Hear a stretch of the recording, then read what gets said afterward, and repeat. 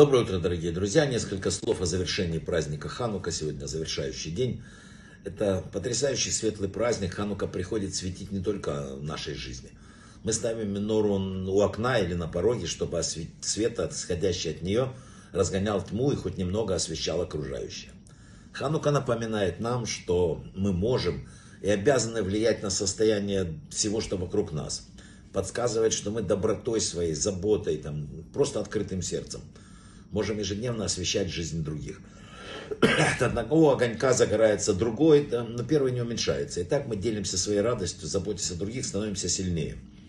История Хануки, ее огонь преподает нам очень важный урок. Всего, у всего в жизни, э, как у ханукального вот такого волчка, есть несколько сторон, они, которые составляют единое целое.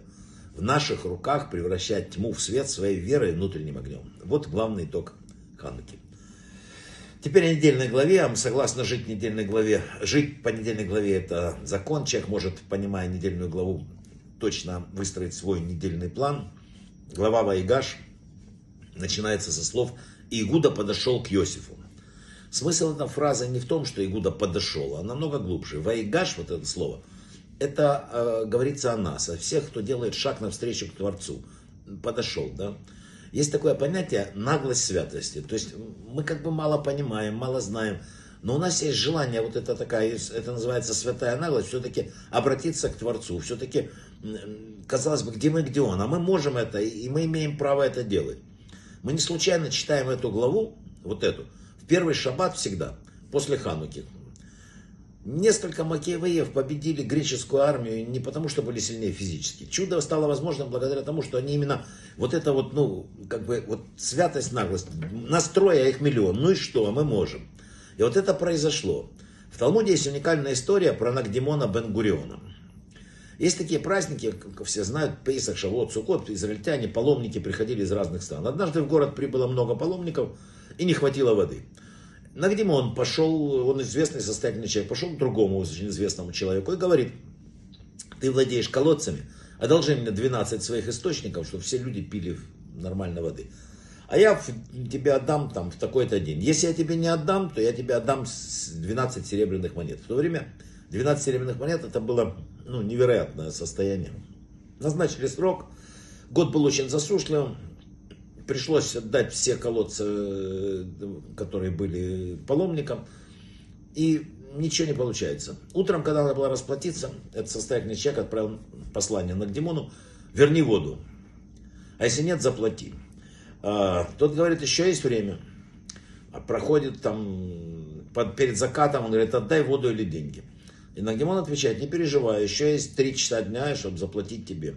Богач расхохотался, так как не было год воды самый неурожайный год. А Нагдимон пошел в храм, обратился к Творцу и начал молиться. Ты знаешь, почему я одолжил эти колодцы?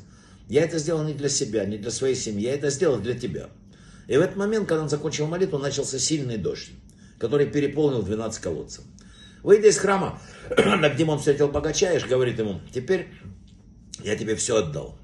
А тот говорит, да, я понимаю, что дождь пошел из-за тебя, но мне кажется, что день уже закончился, солнца нет, и я скажу, что это ты уже в следующий день. Димон вернулся в храм и начал опять молиться. Он сказал, дай им знать, что ты любишь людей в этом мире, и что я связан с тобой по-настоящему. В эту же минуту облака рассеялись и увидели солнце. Таким образом он выиграл спор. О чем эта история?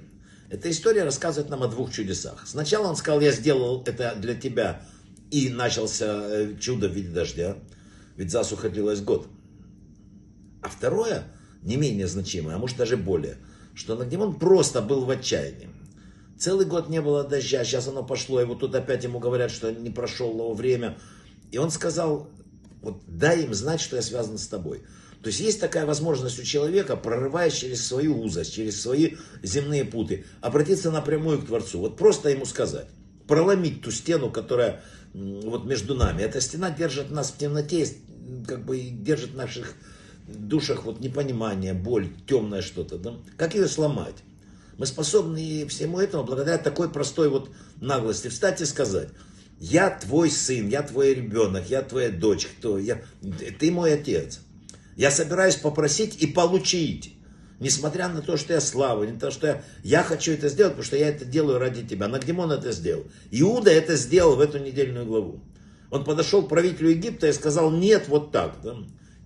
Вот написано в Кабале, что на этой недельной главе у всех есть такая возможность встать, попросить и получить. Невзирая на наши возможности, невзирая на наши сложности.